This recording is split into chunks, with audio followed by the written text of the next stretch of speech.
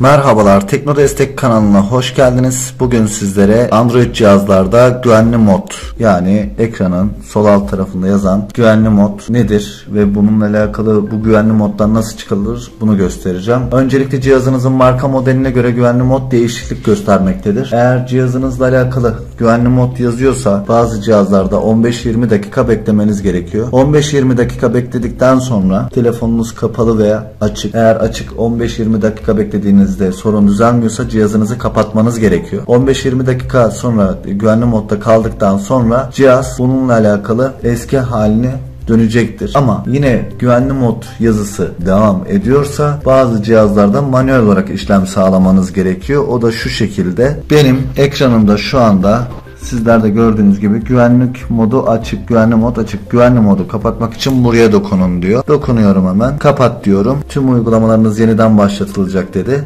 Ve şu an cihazım açıldığı zaman güvenli moddan çıkmış olacak arkadaşlar. Cihazın açılmasını bekliyorum. Şu anda cihazım açılıyor gördüğünüz gibi. Gördüğünüz gibi telefonum güvenli moddan çıktı. Sol alt taraftaki güvenli mod yazısı çıktı. Ama telefonum açıldığında uçuş modundaydı. Uçuş modunda eğer telefonunuzda bir internet bağlantısı veya mobil veri bağlantısı göremiyorsanız uçuş modundadır. Ayarlar bölümünden uçuş modunu kontrol etmeniz gerekiyor. Burada en önemli olan şey videomuzun başında söylediğimiz gibi her cihazda bu bildirim gelmeyebiliyor. Güvenli moddan çıkmak için dokunun ibaresi bulunmayabiliyor. Ee, burada yapmanız gereken işlemde eğer böyle bir ibare yoksa belirttiğimiz gibi 15-20 dakika telefonun boşta kalması lazım. Hiçbir şekilde dokunmamanız gerekiyor. Açık halde eğer bu uyarı gitmiyorsa telefon kapalı bir şekildeyken 15-20 dakika bekletiyorsunuz ve güvenli mod yazısı otomatik olarak kalkacaktır. Herhangi sorun veya sorunlarınızda 11858 teknoloji destek hattımızı arayabilir ve kanalımıza abone olarak bizleri takip edebilirsiniz. Videomuzu izlediğiniz için teşekkür eder.